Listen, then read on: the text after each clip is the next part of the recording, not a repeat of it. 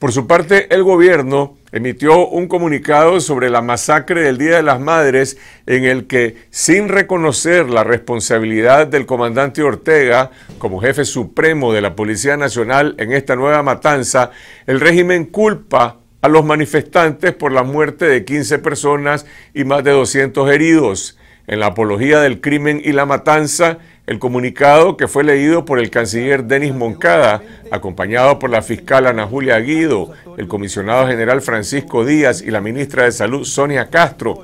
alega que en el país existe una conspiración delictiva contra el gobierno, como si las madres de abril fueran las culpables de la muerte de sus hijos. Dice el comunicado oficial que esta supuesta conspiración delincuencial ha pretendido entregar el país a la delincuencia y al crimen organizado, cuando todo el mundo sabe en Nicaragua que el país está desgobernado por una pareja de psicópatas que no solamente entregaron la soberanía nacional a un empresario chino, sino que transformaron el Estado de Nicaragua y al propio Frente Sandinista en una auténtica mafia familiar y son los responsables de los peores actos de corrupción de nuestra historia y de los peores crímenes de lesa humanidad.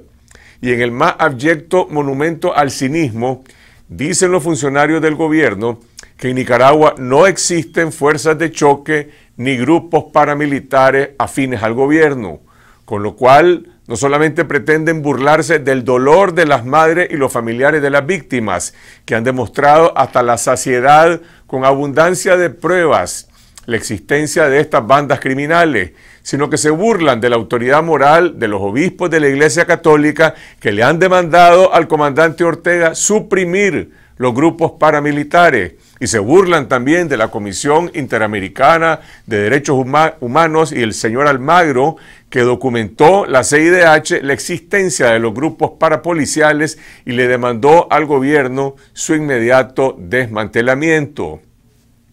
Esa es la versión oficial del régimen Ortega Murillo sobre la masacre del Día de las Madres.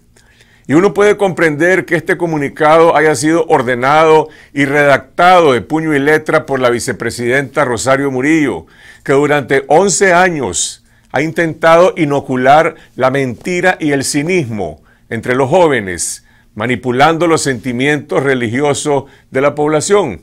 Pero lo que resulta insólito después de un baño de sangre que ha puesto en evidencia los niveles de criminalidad a los que están dispuestos a llegar Ortega y Murillo para sostenerse en el poder, es que los funcionarios del régimen, el canciller Moncada, la ministra de Salud, la fiscal Ana Julia Guido, vengan a hacer una apología de la mentira, del odio y de la crueldad.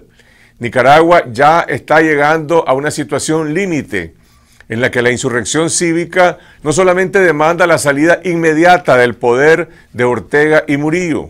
sino que los altos funcionarios civiles del régimen, los magistrados de los poderes del Estado, también asuman su responsabilidad histórica de decidir si están del lado de la matanza y de la mentira o contribuyen a facilitar una transición pacífica de gobierno. Y al menos el canciller Moncada, que representa al régimen en el diálogo nacional, hoy decidió hundirse con la inmoralidad que representa este régimen familiar de Daniel Ortega y Rosario Murillo.